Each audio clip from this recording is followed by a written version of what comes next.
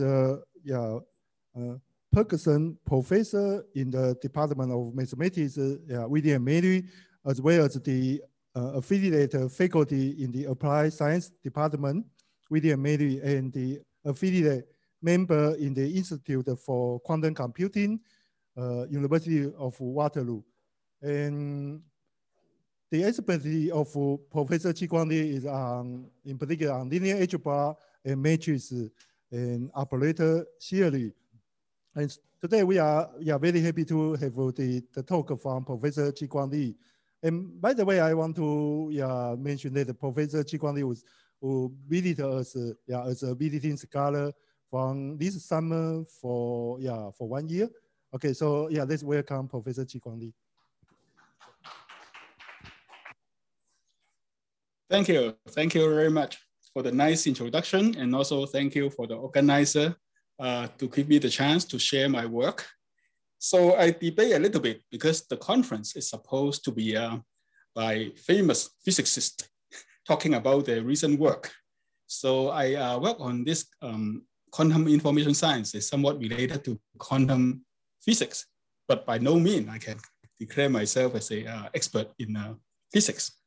So uh, when I choose a topic, I decided that, uh, well, one way is to choose something uh, abstract mathematics, which will be useful in quantum information science, which is the, uh, my recent uh, interest publishing from 2008. So it is 13 years ago. I start to publish in quantum error correction and so forth, uh, talking about those operator algebra approach to deal with the problem.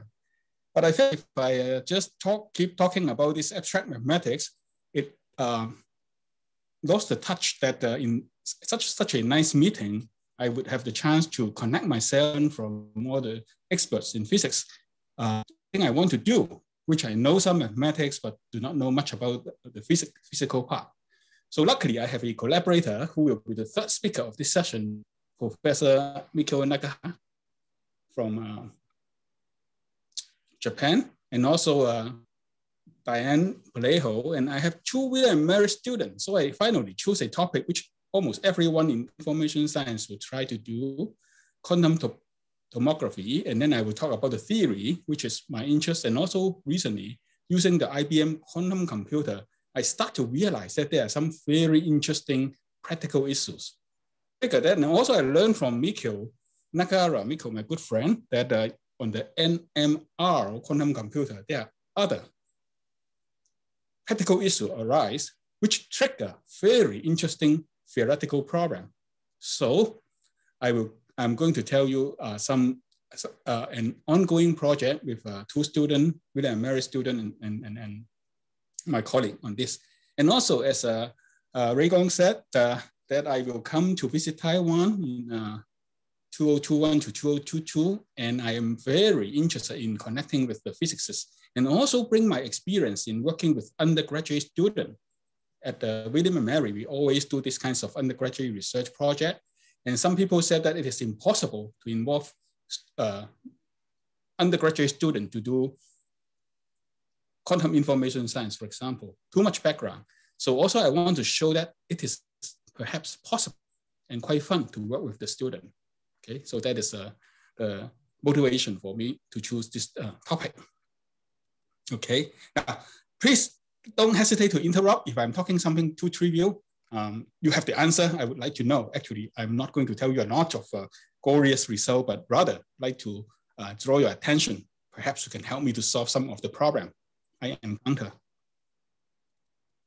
So of course, as a mathematician, so I use the mathematical model. And of course, uh, I think most uh, people in the audience would know that for quantum state, the mathematical model using the um, Hilbert space model, we always assume a um, quantum state with uh, n measurable or physical state uh, as a n by n density matrix. Semi-definite matrix with trace one. For example, very often in quantum information science, we use qubit. So it's a two-dimensional quantum state. So it is represented by a two by two density matrix. And uh, the physical state, for example, if you choose the basis, uh, standard basis to be the two physical uh, state, that two guy will be, the two matrix will be the physical state. So when we do observation, measurement, these are the only thing we will be able to, to see, meaning that the corresponding physical, physical state we can measure or we can uh, So what is a quantum state tomography, which is just in matrix theory, it's very easy. I have this two by two matrix. It is hidden. Can I somehow extract the information?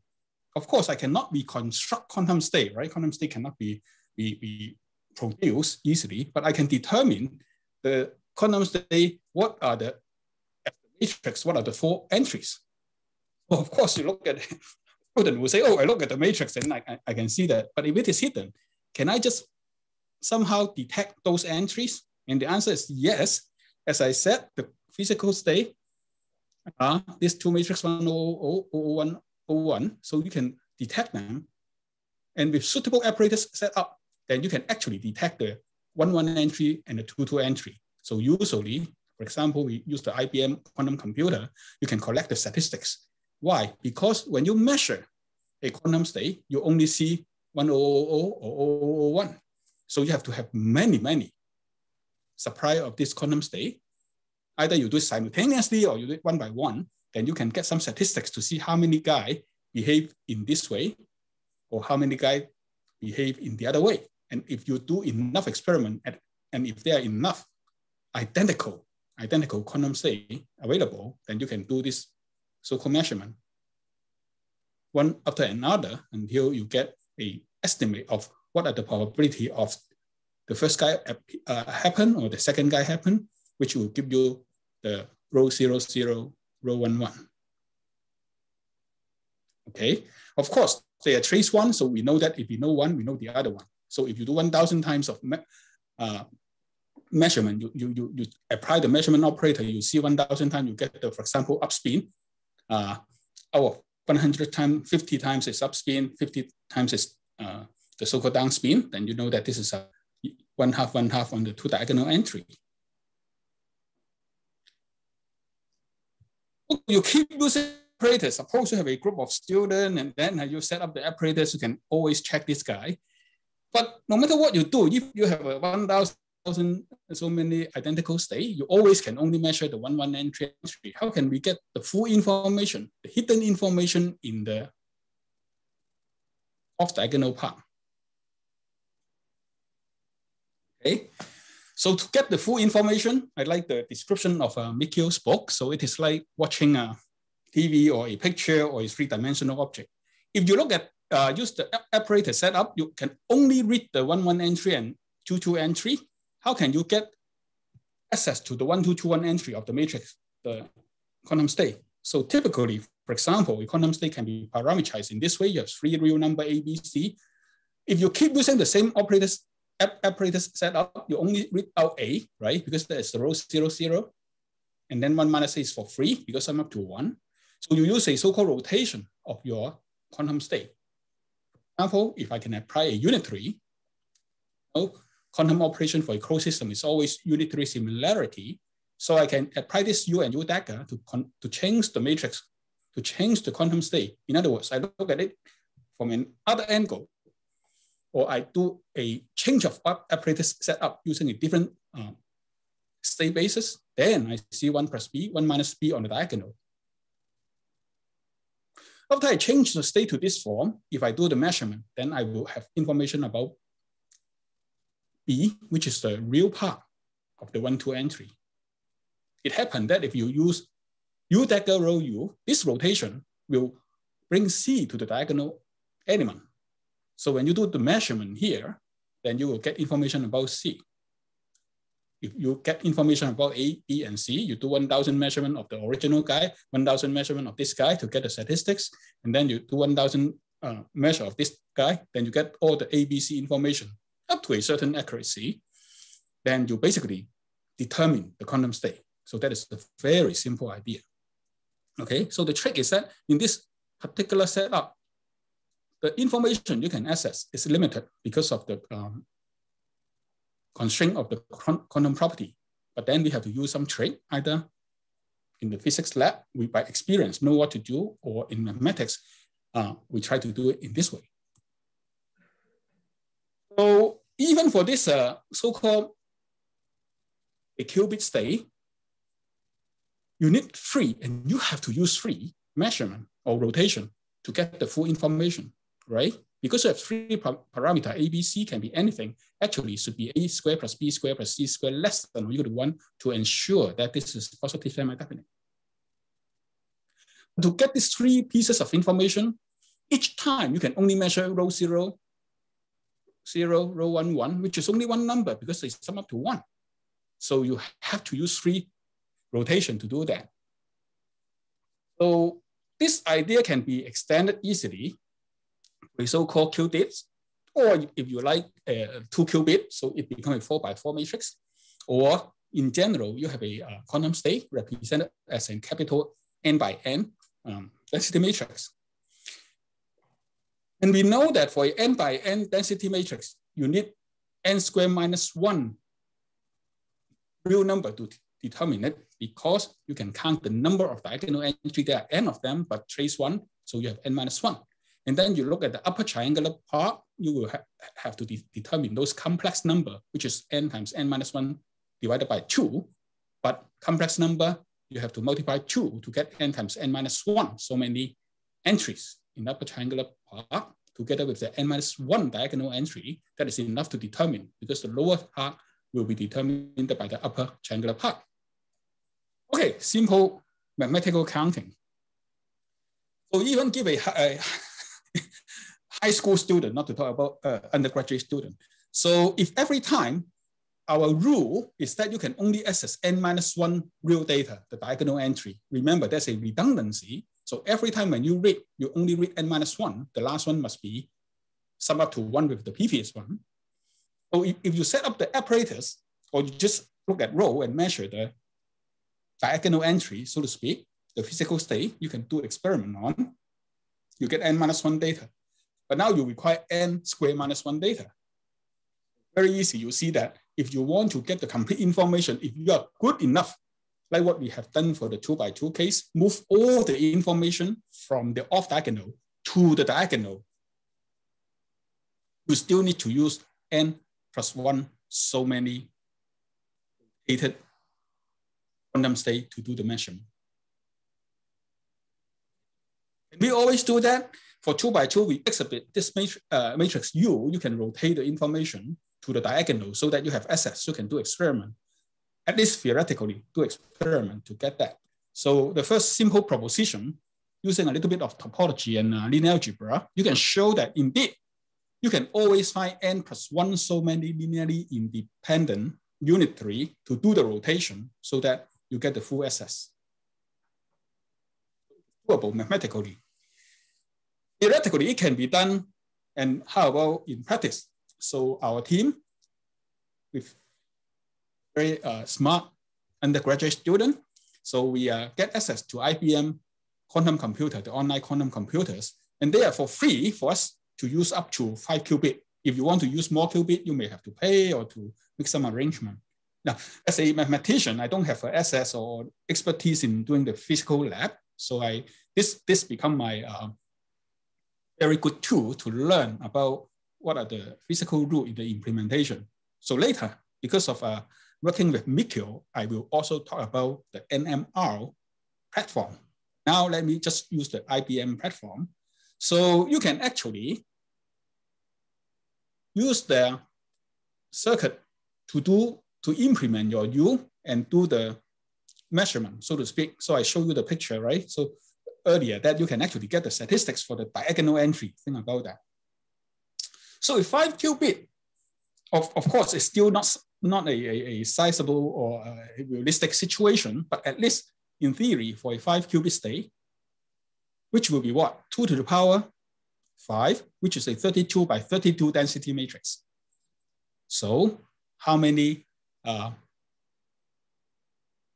rotation I have to do, how many experimental setup I have to do. So I have to do all the way from U0 up to U32.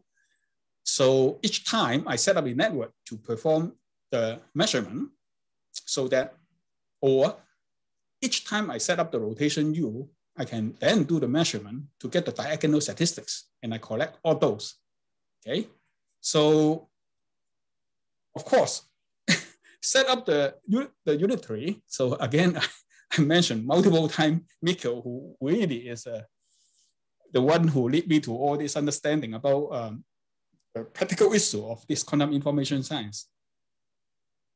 For linear algebras, for a mathematician, unitary is good, but not all unitary are the same. When you talk about implementing a unitary in the lab, even on the uh, IBM quantum computer, could be very challenging. We know that there's a universal way to decompose U to some simple gate so that you can, uh, the qubit gate and the CNOT gate, so that you can implement any unitary in theory. But it could be extremely inefficient. So in this, uh, uh, at least theoretical experiment, it would be nice if we can find some simple U. And remember, we have to do 33 so many U set up for a five qubit state. So each U, we want it to be simple. How simple? For example, local unitary. So if the unitary I need will only act on the individual qubit, this five qubit, with no mix in the implementation, and then do the measurement. That will be wonderful. Then it will be very easy to implement. So I believe if there are some, uh, for example, Ray-Kuang is doing uh, linear optics and so forth, I hope, I, I, think the other experiment would, would, would agree with that. If you have this kinds of simple local unitary, it is much more preferred in, uh, in terms of uh, implementing that. Can we do that? Again, we have to go back, right? So ideally, we can use these kinds of simple setup to do the job, but can we always do that? So answer is that yes, you have some simple setup, but 33 is not going to do the job. You have to use much more. How much more? Well, embarrassing to say, even such a simple matrix problem, at this point, we have the uh, conjecture that we can use 3 to the power n so many instead of using remember, this is 2 to the power n plus 1, 33. But if you do 5, then we believe that you have to use 3 to the power 5, so many local unitary network to do that. Okay.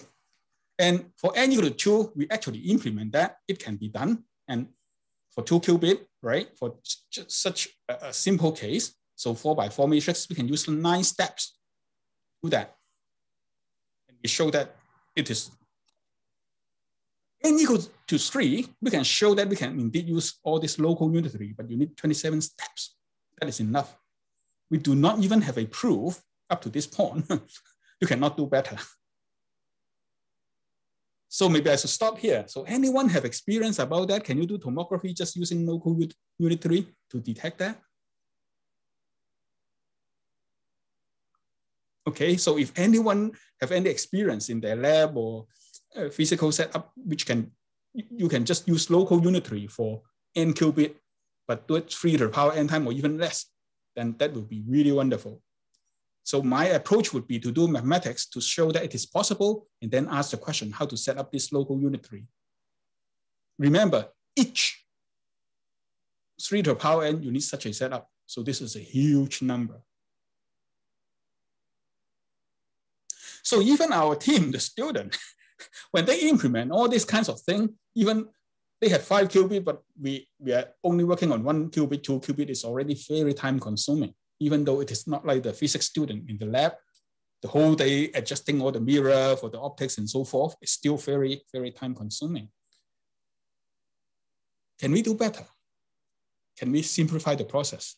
We thought that we have the new theory and turn out that this is actually uh, done by other people in no dimension case or in some special case. Turns out that this process can be um, uh, significantly improved by using the so-called ancilla assist method, quantum state tomography. What is the idea? The idea is that if you want to do a quantum state n by n matrix, if you are willing to find a sigma, which is also an n by n density matrix. Okay, so the setup is that for any positive integer, okay, again, our interest will be 2 to the power n, small n. But for any q, did and so forth, the same proposition apply, saying that if you, you can always pre-select, set up your apparatus by choosing a suitable, and usually it could be the pure state in the in in in a, a very simple pure state in the n, n by n density matrix. In matrix theory, it's the E11, the standard matrix unit.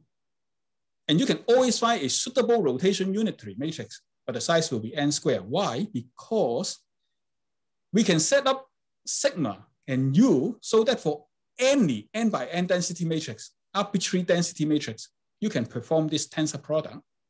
Of course, we get an n squared times n square matrix. So rightfully, you can apply this unitary, okay, this rotation, and then you measure the diagonal. Then of course, there will be n square so many diagonal, and those diagonal entry can be used to determine rho. Only one u, no more rotation. You choose your u, you choose your sigma at the beginning of the everything.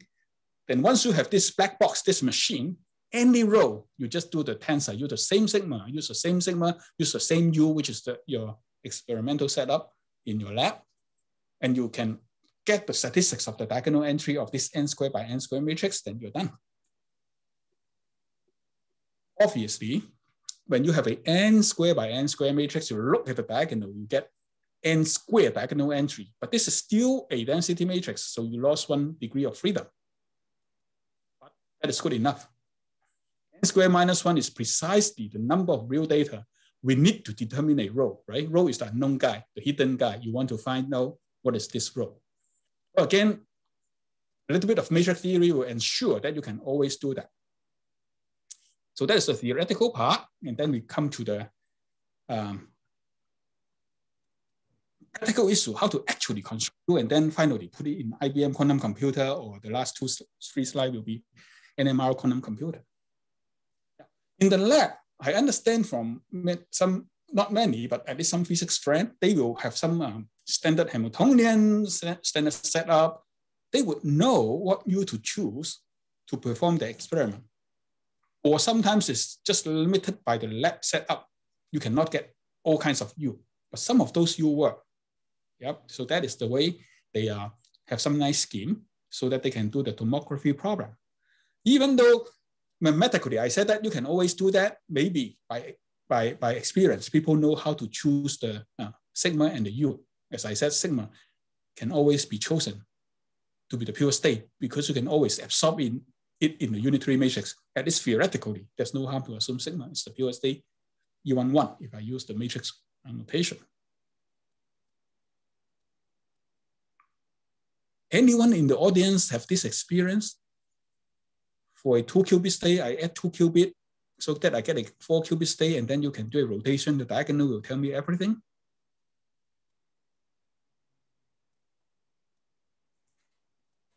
If that can be done, it's wonderful. Now, since I don't have physics uh, experience, so I will approach it by a mathematical way, which is the following.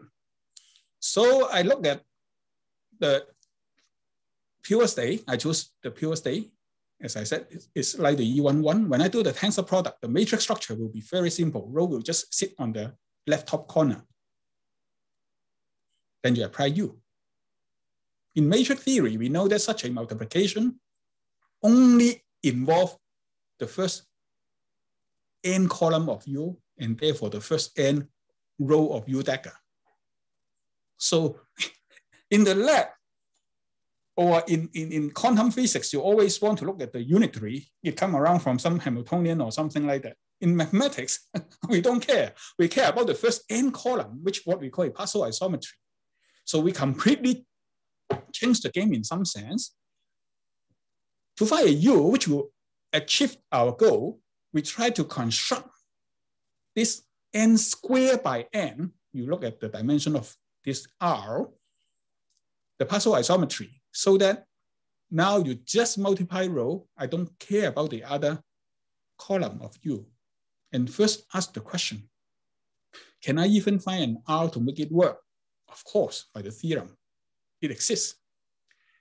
Among all the possible R to make it work, can I find some, some, some, some R which is simple, a lot of zero, for example, very few non-zero entry.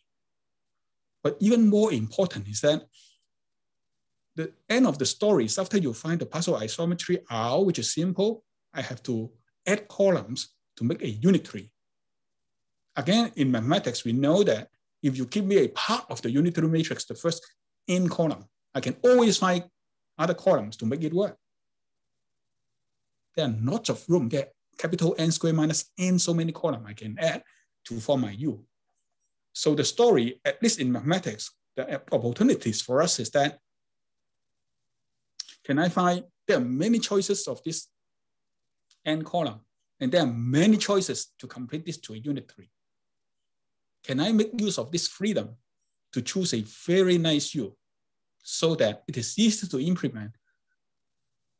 The measurement would be very, very easy to determine my original hidden density matrix rho and do it in a very accurate way. So that will be the challenge. But I know all these things exist. So instead of using experience in the lab, what to do, I would, um, from the mathematical way, look at it in this way. Yep. Okay. So up to this point, the good thing is that instead of using, for example, a five qubit, I only need to have another five qubit. So let me move on to the qubit, which is most uh, mostly used in quantum information science. So if I have an n qubit state, I can use n assist, assisting ancilla, the, the, the, the, helper. And this is determined. After you set up the scheme, you predetermine if you have to deal with um, n qubit state, you find a n assistant and ancilla, as I said, all can be pure state. And then the determine your U to make this work. And once you choose this guy, only one experimental setup. I will not say one measurement. Of course, it depends on how many um, experiment you do, right? So, so one experimental setup would allow you to determine rho. So you have the black box. Whoever give you a rho, you just put it in, tensor it with sigma, and then do this U collect the diagonal, then voila, you can tell people what is the, the rho. So that is what happened here. Much more preferred than the previous case. And the, and the tensor product make the matrix grow very, very quickly. You see, you just tensor with the same dimension matrix, but immediately you have enough diagonal data to tell you this, the, the versus you have to do many, many, like even five qubit, the previous slide, we know that 33 setup have to be done. Now the price to pay is to use 10 qubit, five assisting, five to be determined, and then one measurement. You get the complete answer. One measurement, meaning that one uh, uh, measurement setup. But still, uh, the challenge is that all this theory only guarantee that you can do that. How actually you can do that, as I said, depending on either experience from the physics uh, physicist um, intuition that you know what kinds of unitary operator would do what? Or we use mathematics to use some trick to do that. So for instance, in our case, we can, for one qubit, the very simple case, I only need to one other qubit to help determine it. So in the IBM network, for example, I can find a simple unitary. The setup is just two local unitary. And then this is the control Hadamard gate. So these two things together will form my unitary U, okay? So this consists of a R tensor S or S tensor R1 actually, the way it's set up. And then there's a control Hadamard gate, this two simple unitary multiplied together to give me this U. And once we let the qubit Q1 to assist Q0, you do the measurement, you get four diagonal entry, which is only three, because sum up to one, then um, that is enough for you to get the one qubit information. Remember our early slide, A, B, C are the three parameter if we only have one qubit circuit, we have to do it three times, three rotation. But now if you have a circuit consists of two qubit, then you only need to find one assisting qubit and then do one measurement setup, then you get the three number ABC in one shot.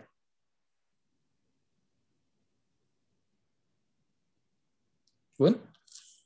Any comment or answer or suggestion? Okay, if no, then we move to different platform. So, of course, there are different um, competitor for quantum computing nowadays, and there are many ways that you can realize uh, the quantum com com computing theory. So likewise, for this uh, quantum tomography problem, we can look at the IBM. I think they use ion traps as the basis, but to us, we just set up the network. They produce the statistics result we can use. And you can, uh, I think, linear optics, right? So I have to talk, uh, consult Rigon more about that. Um, but at least I'm glad that uh, uh, joined our team and then work on this. And then we start to, to see how NMR quantum computer uh, can help our program or what kinds of issues it we will face when we use that computing environment. So here's the red thing. I'm so glad that Mikio is here because I'm just copying from his book and um, mentioning this main feature of NMR uh, computing environment, the quantum computing environment. So in that case, we know that for the previous case, the standard quantum mechanics book will tell you that if there are n physical state, when you do the measurement, you can always collapse it to the one of the, the, the, the physical state, and therefore you get the statistics for the n diagonal, diagonal entries. That is all the basis. But for NMR, it is different. Actually, there will, there will be some um, intrinsic time development so that the quantum state actually a time parameter there depending on how you connect those uh, qubit in this uh, NMR quantum environment. And, and very interesting that it can yield for a n by n density matrix realize as, or actually it's the other way around. Of course, it's the qubit in the quantum, uh, in the NMR quantum uh, system that n by n corresponding n by n density matrix, when you apply some measurement to it, you can actually get, instead of, if for n by n density matrix, you can get more than n piece of information, real data, by which I mean measurement setup. Of course, the measurement is again statistics. So you look at the ensemble of the quantum state, and then you do, do measurement on that with the setup, then you can extract information. For example, for a two by two qubit, because of this t parameter, you have cosine t, sine t uh, function in it. So instead of getting one piece of information, like what we did in the very first slide, or transparency, you can get two real data, namely you actually measure the one-two entry using my matrix representation. So when we use the IBM quantum computer for a two by two density matrix, if we do not use ancilla assist QST, we have to do three measurement to get out my ABC. But now, if I use NMR technique to do that, one shot I can get the one-two entry. Then I just need to use the rotation U I mentioned. You rotate the diagonal entry A into the one-two entry, measure it one more time. Then you get more than enough uh, information to determine the qubit. Okay, very, very surprising, but to me at least, right? And then for how about if a, a four by four density matrix, which is two qubit quantum state, okay? But just look at the four by four density matrix. Very interestingly, the setup will tell you that you can get the one, two, one, three, two, four, three, four. Imagine your four by four matrix is the hidden guy. You do the measurement, you will actually reveal the one, two, one, three, two, four, three, four entry. And of course, accordingly, two, one, three, one, um, four, two, four, three entry will be revealed. But anyway, counting the real data you get is eight linearly independent data. They are not even on the diagonal. And indeed, if you do one rotation, you get another independent X data, which can be done. And we know what, what matrix to use. It's exactly the picture I showed you earlier. Very interesting. That, that matrix also work. I show you for the IBM setup, which will give you another eight independent data. You have 16 independent data, actually redundant because we only need 15. Remember, for a four by four density matrix, if I do not use ancilla assist quantum state tomography, how many measurement setup I have to do? How many rotation I have to use? It's four plus one, five. But here I do two. Rho itself and a rotation. These two setup allow me to completely determine the four by four density matrix. Actually, I have one more piece of information redundant. Okay. Um, mathematicians are very stingy. If we have one more piece of information, we would try to make good use of it to see whether we can improve the accuracy and so forth. That is the next step.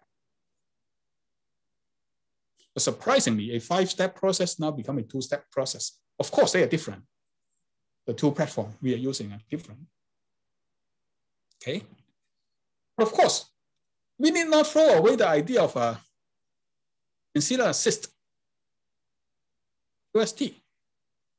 So for example, if you have a single qubit, and you can again use the, I use the uh, matrix notation E11 I mentioned earlier. So you use E11. Okay. So this is what two by two, two by two, you get a four by four state. What you would want to know is the single qubit sigma. Okay. Now you form your rho tilde by setting up E11 tensor rho with a suitable V then now you put this rho tilde, this two qubit state, using the NMR method to do it, you get one, two, one, three, two, four, three, four entry, eight real data. Eight real data, of course, is more than enough to determine sigma. Sigma is only a two by two density matrix. Three data is needed to determine that. So I have over-determined system. Good or not good, depending on whether you can make good use of those information.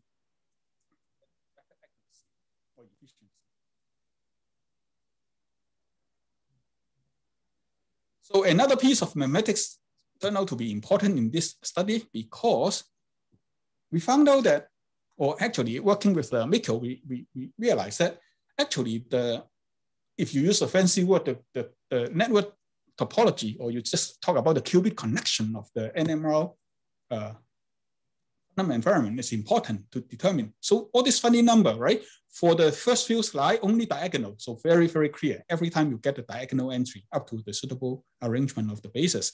For every density matrix, a measurement in the lab on an ensemble of those uh, quantum state, you always can get information about diagonal matrix. But for NMR, suddenly it is one, two, one, three, two, four, three, four entry. How about eight by eight? That's another list of entry you can get. How do we decide that? So it depending on how you connect that.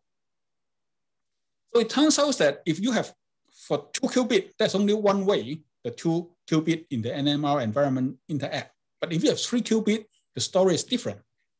They can interact in this way. They can interact in a triangular way. It turns out that this different configuration will determine different number of entry you can extract. Then we do some calculation. The most aggressive one is that everything is connected, so-called the complete graph topology of the qubit connection. Then we can get as many as so many real data. And as long as this data is enough for you to determine density matrix, then we are in business. We can determine that. So for n qubit state, we only need to add k as long as log 2 n plus k is bigger than or equal to n minus k, then that will work. For sure, if you get, add n more, it will work, but potentially it's much, much lower. You look at the previous case, for example, for two qubit using the IBM quantum computer, we did two assisting ancilla. But for NMR quantum computer, we only need to use one assistant ancilla, then we can do the job. Okay. Now my time is up, so I think it's um so summary and then conclude. Um, so of course, all this the the op optimal arrangement of the qubit configuration and then the, how to choose sigma and u to make the setup easy is a challenging, challenging job. So in any event, what I want to bring up here is that um, we talk about theoretical and practical issue in uh, state tomography. The first lesson is that if we only use N circuit to do, or we can only handle N qubit circuit to handle a N qubit uh, state tomography, we may need to do many, many experimental setup. Okay? And it is challenging to find simple U do that. And there is a minimum number, which we know, which is exactly the dimension n plus capital N plus one. With the assist ancillary assistant, then this is much easier, but still we have the challenge of finding U. And uh, sometimes the construct this sigma and U, the qubit configuration in your NMR, for example, a setup would be important. Even in IBM, the IBM quantum computer behind the architecture may be different, right? So what I hope to achieve, hope that uh, this uh, will not be too boring for you, and hopefully there's some interesting uh, physics uh, experience idea can combine with mathematical insight to uh, find a good scheme. And particularly, our team is working very happily together. So I think it's a very good topic to introduce to beginning researcher and bring physicists and mathematicians together. So with that, um, I hope you find interesting and maybe you have some idea to help me to do the job. I will stop my talk here. Thank you. Yeah, thank you. Okay, yeah, thank you, yeah, Professor Chi Kwong Li for the in interesting talk. So right now, yeah, so this talk is open for question or comment. Okay, there's one. yes, so so about using many ancilla, so indeed there the, the information is probably hidden in the very big space, but how to decode it and and yeah. So right. So in in matrix theory, we can um, set up the U, and once you set up the U, once you have the diagonal entry, this is just a linear transformation to use the n square minus one uh, or um, real number, then you can use it to reconstruct by a simple linear transformation. You bring up a very good point. Mathematically, it is easy to, um, to recover the rho, but how to set it up so that the recovery process is stable because the measurement of the n square diagonal entry may carry some error, obviously. So the ideal thing eventually is not only the process of finding our rho using those data is easy, but stable. So in some earlier paper, people in some other platform talk about that. But, but mathematically, it is very easy. Once you choose your sigma, you choose your u, then I can tell you, oh, once you get that n square minus one entry, how do we construct rho? That is a simple linear transformation. The rest is no more uh, quantum physics, it's just simple linear algebra. But, but the linear transformation is a matrix in an exponentially large space. So even classical computation. No, no, no, no. It's a, it's n squared. Now, you you you want to uh, consider a uh, n by n, capital N by n density matrix. You have to handle so many data. The linear transformation is just changing this n by n matrix to another n by n matrix. So the, the, the dimension is stay at that, that level, right? If, if you cannot handle n by n density matrix from day one, you cannot do anything. But if you can handle that, then it is just square.